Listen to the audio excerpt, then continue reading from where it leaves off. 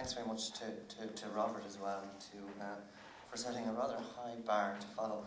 Um, uh, again, I, sh I, should just say uh, at the outset, thanks very much to the Western Development Commission, especially Paulie, um, and, um, and people here in CISC and NUIG for supporting what I believe is uh, an area that warrants uh, increasing attention. Uh, so just to talk to what Rob said there in his very interesting talk, I, I want to kind of just ground it more, shall we say, on uh, uh, the Irish level, uh, and then more laterally on the kind of um, local level. Uh, having been privy to Rob's slides for the last couple of days, I knew what he was going to say, so that made this job quite a bit easier. In terms of what I, what, what, what, what I saw from, from reading them, that there, there are three main areas, and I think this is, these are the three main areas that, that we really need to, to look at, at the world that we're living in. And you can just group them together under these rather broad and vague terms, and there are, of course, globalization, the rise of regionalization, clustering, and this kind of new emerging area of culture and creativity. And the importance is how all these things fit together and how they feed off each other and how we can um, uh, best uh, use them in, in terms of, of local and national competitiveness. So I want to look at these kind of three areas. I just want to run through them very briefly um, and then focus on um, exactly what Lisa mentioned, which uh, are two areas of particular local interest to, to us. And uh, this is not to steal any thunder for, for speakers coming after me, but I, I just want to speak briefly about the rise of, of what I see as a very creative cluster on the west coast of, of, Galway, west coast of Ireland, uh, in the audiovisual area. And Paul Collins from Telegael will, will, will, will speak more in depth about that later on. Also, uh, work that I've carried out with uh, Dr. Frances Fahy in the geography department, I've been looking at, we've been looking at Galway and this notion of culture and creativity. And the, the, the importance, basically, in terms of policy, in terms of image creation, that labels like culture and creative have in terms of local economic development. So, globalization. That was a great heading to a slide. What do you put underneath it? Uh, of course, globalization is actually a process that we're all very au fait with. It is, you look at the, on the streets uh, of Ireland and you see it both in terms of labels, in terms of names of shops, in terms of people speaking different accents. For me, uh, in terms of my research so far, uh, it really is about these three interlinking factors, coinciding factors. They are, of course, technological advances, changes in the organisational structures, both of, of, of societies and of firms, and policy changes. And of course, Ireland would be a world leader, shall we say, in terms of policy changes towards globalisation. Uh, policies enacted from as far back as 1959 has led to Ireland become, or led to Ireland becoming labelled as the most globalised economy in the world in 2002. And of, or if not one of the main reasons for that, was its attraction of, of these big names. And of course, globalization, that, that name Dell there is some, one that we'll all be familiar with in the last few months because we've seen how globalization brought Dell to our shores and, and, and gave jobs to, to um, uh, upwards of 4,000 people in this country, but took jobs away from 2,000 of them um, as recently as last January. These are, they are processes of globalization. They are processes of exactly what Rob was talking about in terms of a spiky competitiveness of place.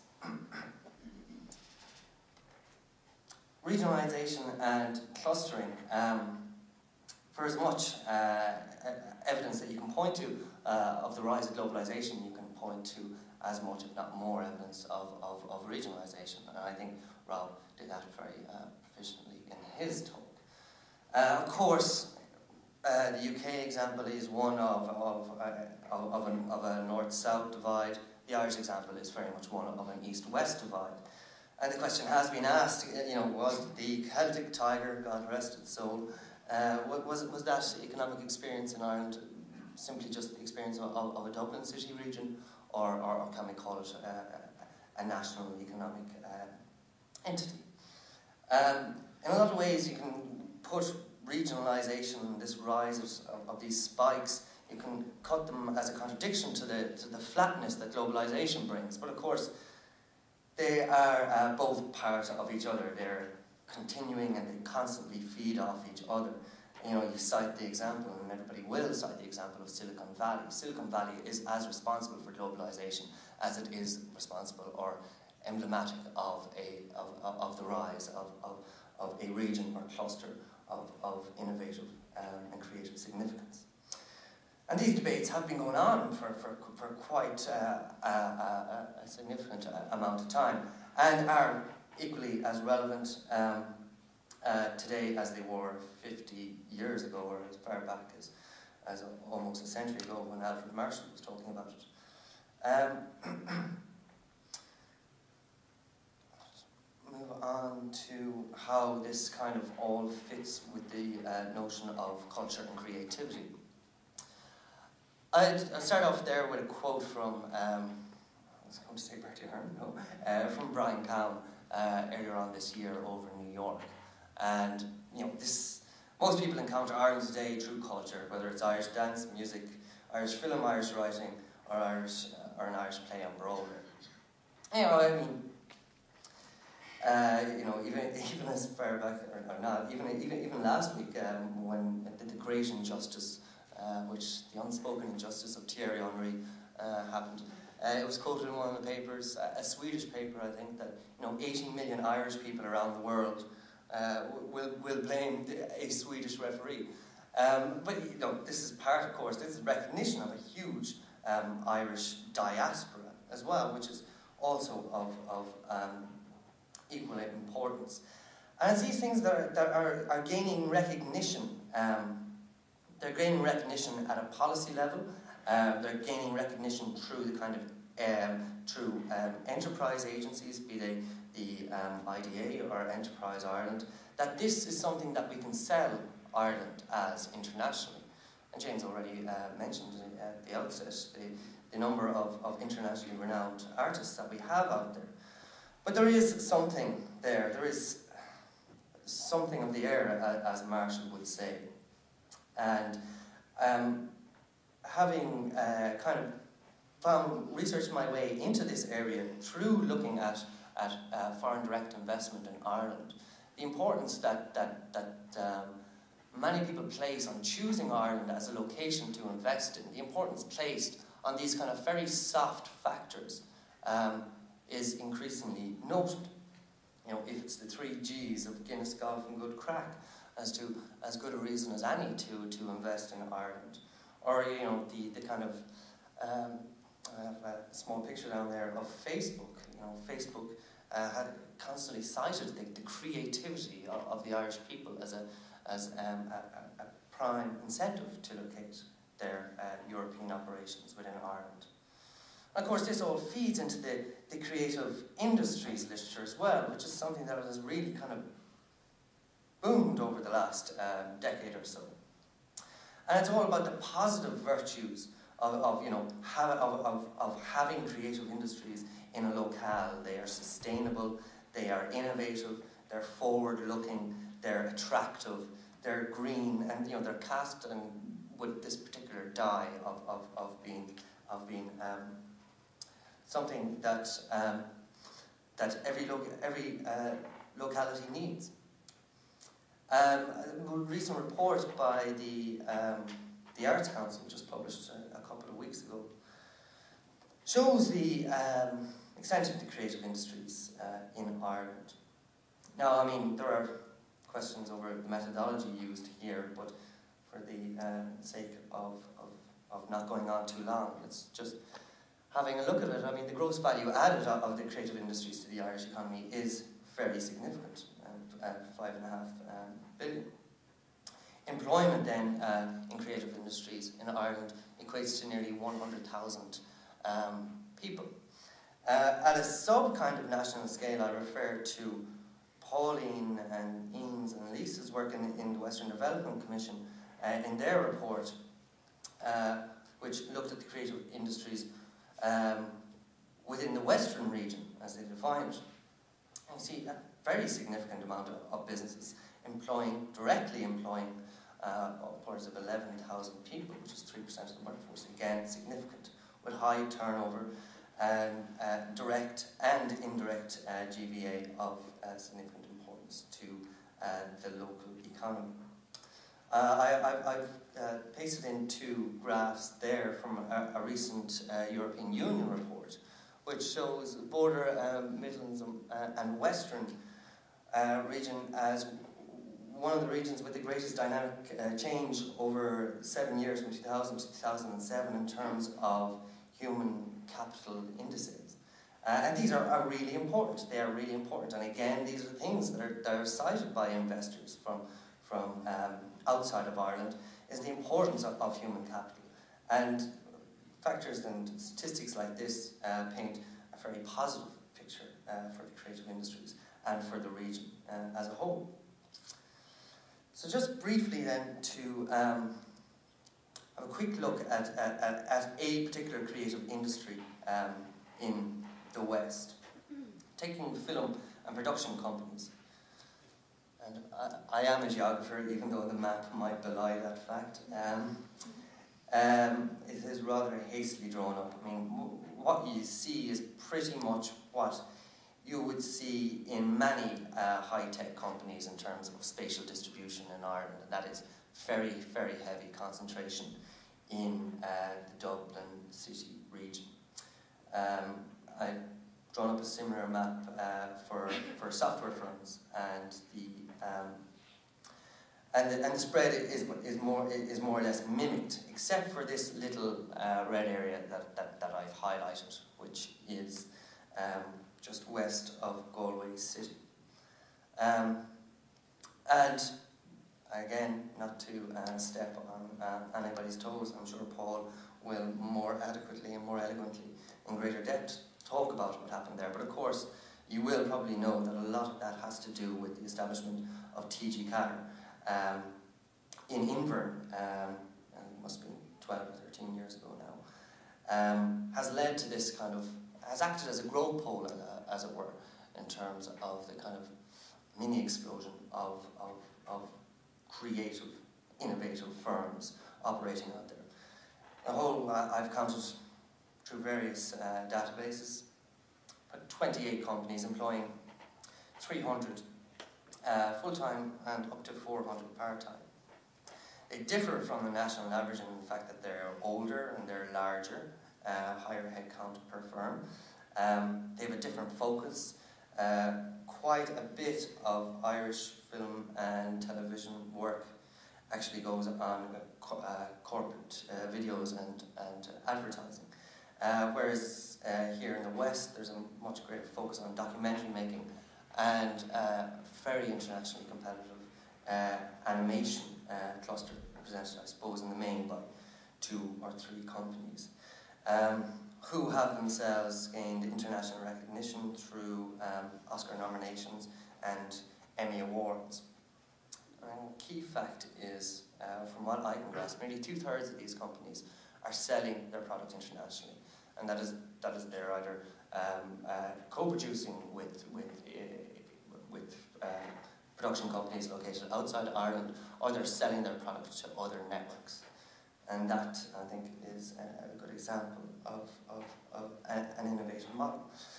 Um, you know, various quotes kind of um, to, to try and, and sum up the sector. You know, the notion that of, of, of space transcendence, of decentralization, of globalization are very much uh, evident in the region in terms of work practices between companies that are working in real time with companies located um, you know, 10,000 miles away. Um, questions, you know, you ask, you ask people where the real digital hub is, and it's 15 miles west of, of Galway City. You know, that is, of course, in reference to the actual digital hub up in Dublin, because there has this been almost, uh, in some ways, it's been a very organic kind of evolution uh, of, of, of uh, services and uh, orientated um, production companies um, in the Inverin region. And culture, again, I mean, is, is, is naturally important. It's, it's important in the sense of language and um, the, the, the, kind of history and how much the sector owes to TG formation.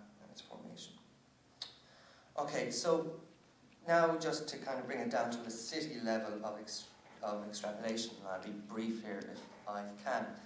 Um, Galway City, a creative city, of course, question mark has to be placed after it.